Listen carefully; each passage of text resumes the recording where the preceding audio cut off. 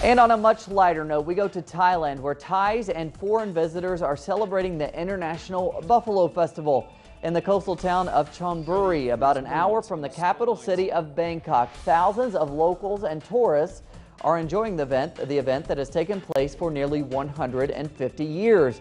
Festivities include a beauty pageant, but the most popular events are the buffalo races. The races have faced criticism from animal rights campaigners who say they are cruel.